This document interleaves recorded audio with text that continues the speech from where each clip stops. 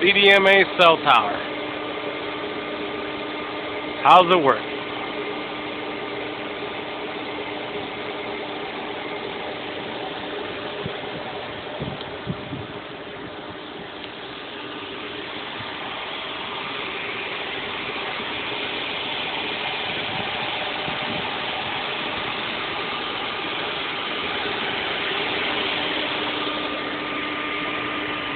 These are the radios. It seems so empty because there's one unit here. Replaced six of them. So there used to be six in here for the three sectors. Right up here. Now the one runs all three sides. And they place terminators to loop back into the new unit. That's why the cabinets were so huge, but not anymore. It's all been shrunk. Over here, this is our data coming in. The T1, these units here are the voice. This one here is a CDMA, which would be like Sprint, is for the data. The data is shared out here. This one then talks to the radio right next door, which is right here. This one here then patches out, goes out to the tower. But how does it communicate from the outside world to here? Well, we come over here. These two tabs here are GPS antennas, which help keep the system always precise, and for the handshake to pass over from one phone to another. This here is a generator. Automatically kicks in when the batteries are running low. Got the telco box. What do we have in here? These are AT&T T1 circuit and a FiberNet block for uh, FiberNet uh, optical cable. And this is where all the Sprint connections, T1s, come from the site to the connection to the switch through T1 line. So all this comes from a central office. Correct. So this is an M2. So this was prior to the one we showed you before, which required three units which one before that one, you still had to have one per antenna sector. So these covered at least one sector each. The unit that we showed before actually show covers all of them. So there's multiple sectors. So each one would handle what? Three antennas in each, or? Uh, well, two antennas each. Two antennas each side, and it's three. The other ones handle single frequency, one per per sector, one per frequency.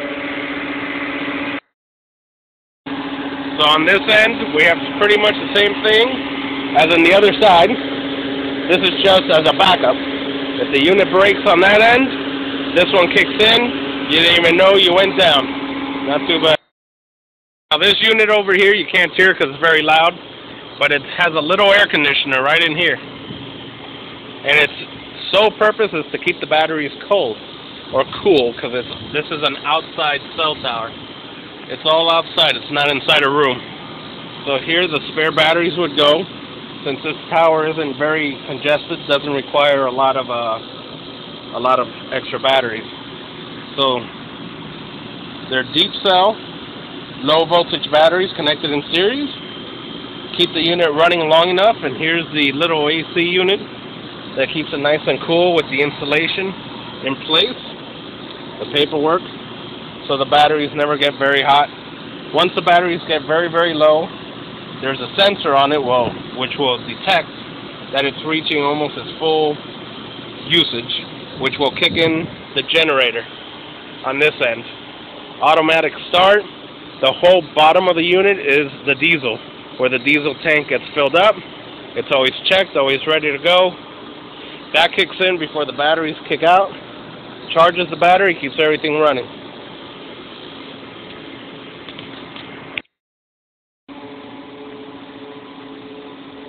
Here are the main power disconnects, and this is the power transfer switch.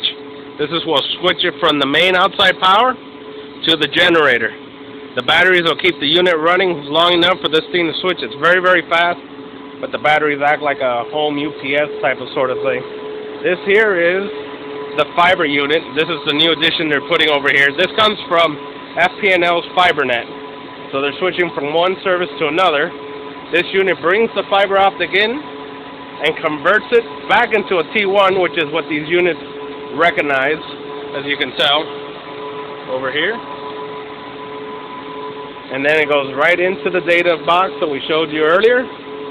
Converts it. Voila. Little tamper switch over here. Keeps it running. And of course, nothing like a nice beehive, wasp hive to make your work hazardous. The interior of the generator. The controller test box set to automatic. They can check the services, the gauges, but once a week, what is it, running once a week or? Once a week it gets a test run to make sure that the motor doesn't seize and everything's working in place. There's your muffler. It's like a miniature truck engine, diesel. That thing has enough juice to power the tower. Do you know how long this one can run the tower for? Uh, two, three days. Three days without refueling. Depending on the food. Incredible.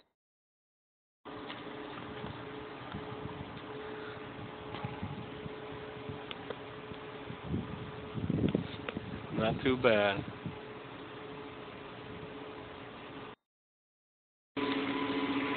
Over here, you'll see the two antennas. Those are actually GPS antennas. It keeps the unit incredibly accurate because cell towers only go for a few mile radius. So what happens is when you're driving and you go to the next tower and does the handoff, which that's not controlled here. This just controls this one tower. The timing has to be precise.